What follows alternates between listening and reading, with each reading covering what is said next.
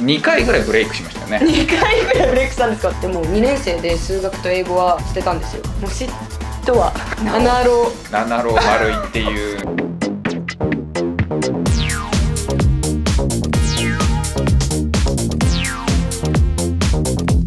おで始まりましたぼちチャンネルさあ今回はですねはい丸井さんにおいでいただきました。こんにちは。はい。です。はい。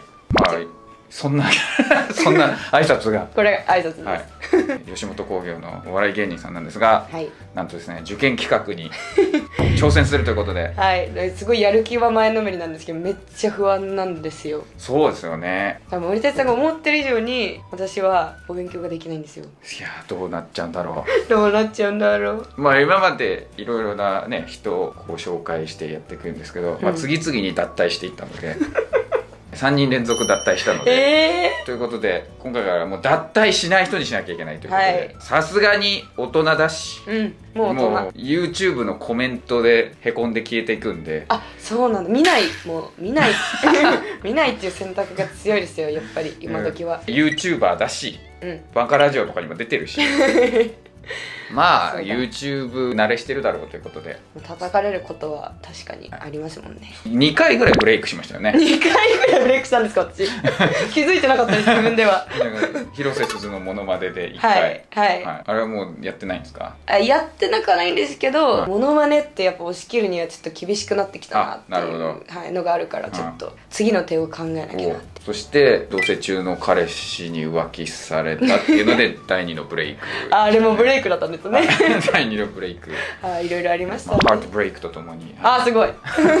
すごいすごい。こうやっていってちょっと第3の費用ということで。はいそうなんです。もう YouTube の更新もだいぶ少なくなりましたよね。はいちょっと停滞期というか,、はい。なんか自分が何をしたらみんなが見てくれるんだろうみたいうんうんうなん。スランプみたいになっちゃって。じゃあ受験すればいいよっていう。そんなそんなあれあれですよなんかあれですよそんなあのそんなあのなんていうんでしたっけそういうのってあのあの横島な気持ちじゃなくて本気でちょっとなんか自分がどれだけできるんだろうっていうのを知ってみたいなっていうのはずっと思ってたんですよ。そうですね。行ってないので大学。そうなんですよ。やっぱり高校入学した時から大学は行く気なくて総合学科だったんですよ、単位制の、うん。なんか自分で授業を本当に取っていけるみたいな、選べる高校に通ってて、でも2年生で数学と英語は捨てたんですよ、えー、3年生からはずっと木を切ったり。えー、そう服をいう作ったりはいはいはい。書道してみたり体育やったり、うん本当実技系ばっか取ってたから本当にお勉強してなくて、本当どれだけできるのかもわかんないですけど。でももし私がこれで受かったりなんかしたら、はいはい。本当にいろんな人に希望を与えられるんじゃないかなってそうですね。思いますね。仕事も増えるんじゃないですか？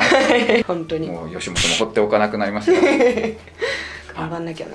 自身のチャンネルでね勉強配信とかもはい。定期的にはい。すれば、みんながこううん。応援しに来ると思いますので、うんうんうん。まあだちょっと受験系なんで、はい。まあ視聴者汚いですけど。汚いんですか？聞いたことないです。あんま汚い視聴者っていうのは。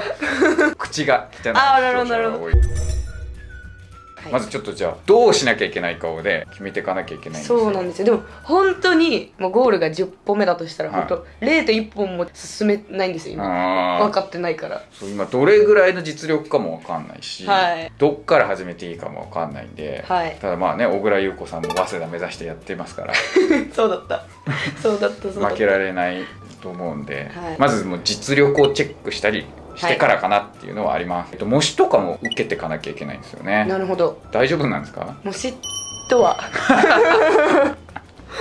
模試とは。模擬試験模擬試験入試をちょっと体験しようああまあまあまあそういう感じですね。あなるほどなるほど。そういうのもやっていかなきゃいけないんですけどまあ多分今受ける地獄だと思うんですよね。何にも分かんなくて。はい。今私やらなきゃいけないお勉強って言って3教科でいいんですよね。まあそうですね。私立で行くんだったら、はい。漠然とね学部とかどこがいいですか文学部って言ってましたけど 何やりたいとかあるんですか？文学部。何やりたい？えなんか文章を書くのめっちゃ好きだなと思ったからあはいはいはい。やっぱり文章を使う仕事ができるのって文学部じゃないですか。おおでも調べたところによるとなんか文学部を卒業してもなんか一番就職率が低いみたいな。ーそういう点もあります。残念ながら。そうなんだ、まあ、ただ文学部っていっぱいあるのでうんうん。やれることもたくさんあるのでなるほど。僕は英語を選びましたけど他のだってたくさんありますんでどれを選ぶかは、まあ、後々決めればいいと思うんですけどまずはい。実力でどれぐらいいけるのか、そして日東駒線とかのレベルまで達することがそもそもできるのかっていうことなんで、そこからいわゆるマーチとかね聞いたことあります、あります。マーチとか。マーチは大丈夫です。まあその辺を目指せるかっていうのをね、はい見ていきたいんですけどまずそれを決めなきゃいけないんですがあとはオンラインのあのベーシスっていう塾がですねサポートしてくれるということなんで。ええはい。すごい、まあ英語の塾なんですけどそこんの英語は全部とりあえず任せてやろうと思いますんで。そんなバックアップしていただけるなら本当に頑張んなきゃいけないです、はい。そうですね。頑張ってください。頑張ります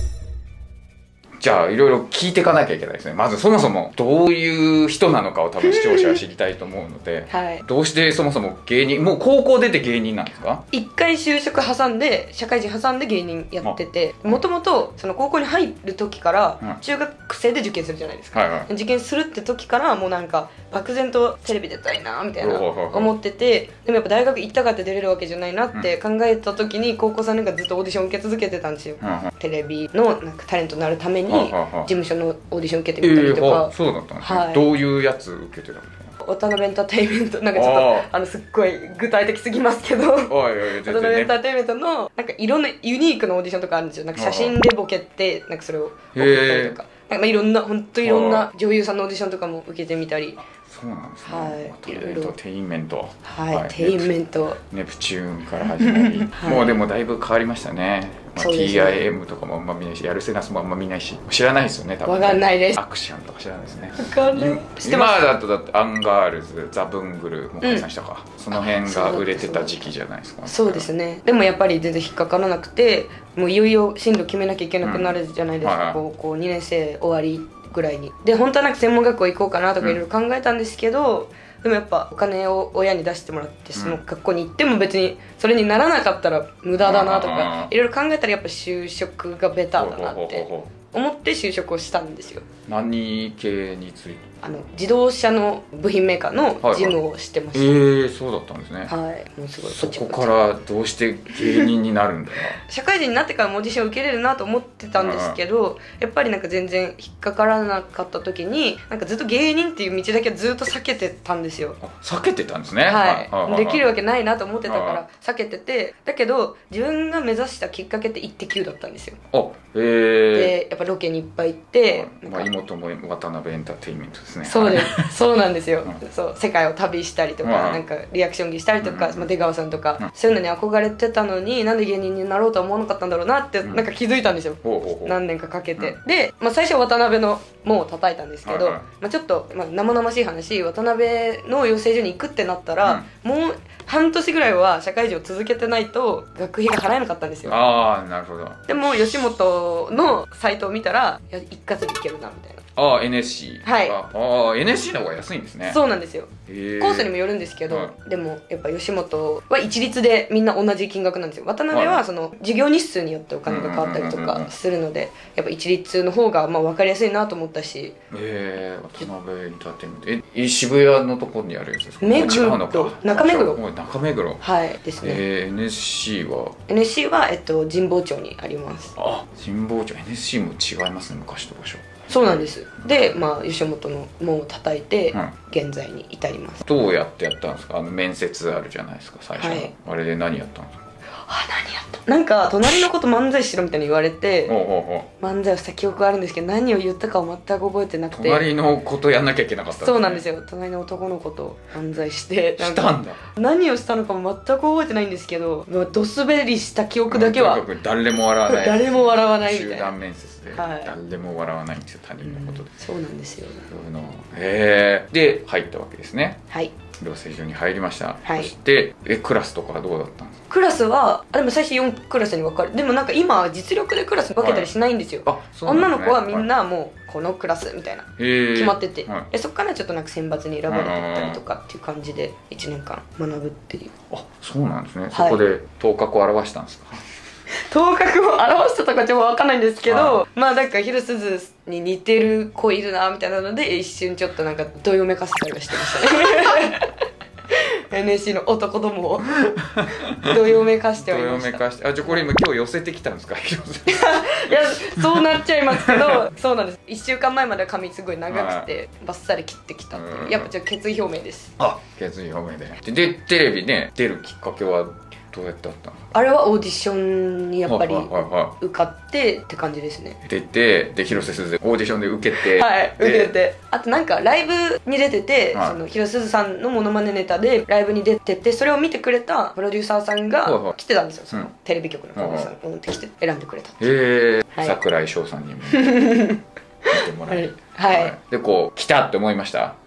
ちょっと正直思ってた部分はあったと思います、これで一生飯食えるぜとは思わなかったけあどーなんかもうちょっと跳ねるかなとは思ってたんですけど、あんまりなんか自分の中ではそれを次につなげるってことがあんまできなかったですね。ああなるほど、はい。じゃあまあポンと来たけどその後つながっていかなかった。かなかったですね。そうなんだ。やっぱ厳しい世界ですね、でも やっぱ実力がないと顔がただ似てるってだけじゃちょっと厳しかったですね。なるほど。いやもう顔が似てるって言っちゃったけど大丈夫ですか？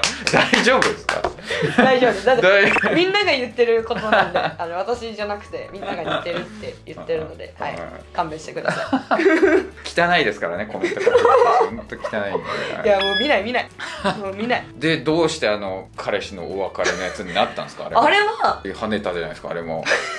でもあれも芸人のことで悩んではいたんですよ。もともとトリオを組んでたんですけどあはい。解散してしうん。解散というか私だけ抜けちゃって、どうしよう芸人としてどうしようって悩んでた時期にあれも起こったんですよはいはいはい。同棲してた人に浮気されるみたいなことが起こって、一般の方というかみんなから見たらそんな大したことじゃないのかもしれないんですけど、浮気なんてよくあることだし、うんでも私は芸人としてもちょっとなんか全然うだつが上がらないというか、ううんまくいってなくて。で本当に結婚しようって思ってたくらい、まあ結構大事な人だったんですけど、まあ、浮気されたってなって家なくなっちゃって。その人が家賃を払ってくれてたので。ああなるほど。はい、家住む家もなくなって、本当どん底だなって時にいやこれちょっとタダで転べないなみたいな思ってその当時めっちゃ流行ってたっていうか見てた、うんあの手元浮気されちゃいましたみたいな感じでこう手元で料理してて、淡々となんかその起こった出来事をこう文字でこうお送りするっていうスタイルの動画がめっちゃ流行ってて、はい。結構それずっと見てたんですよ野獣馬根性っていうか。あそんなことあるんだなみたいな。でもそれがまさか自分の身に起こると思わなかったにからでこれ顔出しでできたら強いなと思ったんですよ、みんな顔は出さずにやってるのでだ強いなと思っていやこれはちょっと YouTube に落とし込もうみたいな思ってって感じです。始めようってして。ドーンって行きましたからね。ネットニュースに取り上げられてたから。はい。びっくりしました。その後におお父さんに説教みたいな感じでね されて、カメラの前で号泣してグリーンとか言って。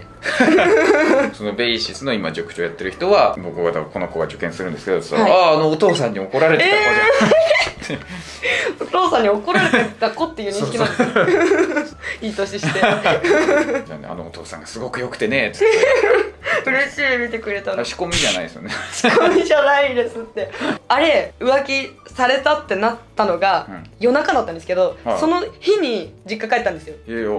で急に「ちょっと話あるんだよね」みたいな感じで、だけ LINE 送っといて実は別れちゃってってそこだけ伝えて、まあ、実家の子の子帰ってうんうんうん「ちょっとごめんカメラ回していい?」って言ったらなんか「え？みたいな。なんかもうズボン履かなきゃぐらいの感じだったんですよ。パンツ一丁のお父さんが。あぐらいの感じで。で回したらなんかこれ撮って何したいの？みたいな。あうんうんうん。本当リアルでしたからあれが怒られちゃって。すご YouTube 始めるってなった時にちょっとアドバイスをくれた YouTuber の先輩の方々がいてうん。その方々となんかどんな動画撮ってこうかみたいな話し合いとかもしたりしたんですけど。でその両親と話そうみたいな企画が出た時に面白そうだなと思ったんですけど、それを最初撮ろうと思った時はなんとなく頑張れよみたいなこっからこんなことあったけど頑張れよみたいな感じを想定してたらもう真逆でああなるもうほどねあれ死ねぐらい言われたんで。びっくりしちゃって。それでボーンと来て、はい。おまたあるいちゃんブレイクだと思いながら そうなんですよ。でもやっぱ浮気されそうでされたぐらいじゃやっぱり。浮気されたぐらいじゃ。何も残りませんから、ね、でバンカラジオとかもね呼ばれてるようにね。あそうですそうですキータくんとかもともと仲良くて、うん。でなんか最近コメディやってるからっていうことで私を呼んでくれたんですけど、そうキータくんもずっと浮気っていうことがある前から、うん。ずっと YouTube がうまくいってなくてっていう相談とかずっとしててあアドバイスくれたりとかしててでキータくんの案で過去の動画を全部一回非表示にして、はいはい。キータくんのアドバイスでやったんですよ。うえー、聞いた聞いたわけですね。キータに聞いた。浜井 さんみたいなこと言うじゃないですか。ちょっと浜井の扱い方になれないっつってたからちょっと練習しておかなきゃ。ね聞いた中退したけどね。そうだった。でも入学したことがすごいですからね。はい。そう黄色浜で思い出しましたけど、はい。やりましたね。キャラ獲得しました。七郎っていう。七郎。七郎丸いっていうのをですね。確かに七郎でいいんですか？私、はい。でも浜井さんカウントで言うと七郎してますもんね私。そうですね。7ですよねでどどう数えるんですか？10 19の時が1ですね。19が1だから社会人1年目が1そうそうそうですね。で1両。1 2 2両3456 7じゃないですか。25の年ですね今年。はい。あ七郎だ。いやりました。七郎獲得ですもう浜井と2しか違わない。やすごい。七浜井さ七郎登場で。はい。脅かしてますね。完全に。浜井さんを。七郎の女性登場ってこうやってサムネ出ますから。顔こう隠して顔隠せ私七郎なんだ 挑まなくても浪人扱いにはなるんですね。なんかねよくわかんないハマりカルトとか言って言ってますけど、まあ、受けなかったっていう。七郎でやっていくと思うので。じゃあ次はいよいよ実力をちょっと見ていきますんで。はい。うわ怖い。今日聞いてなかったです実力。何も言ってないけどまあやってみるしかない。多分全然できないと思うんですけど。でもラフに行きます。はい。じゃあやってみたいと思います。はいじゃあ時間もお使いください。はいありがとうございました。うん。バイバイ手が早いですねこれ。え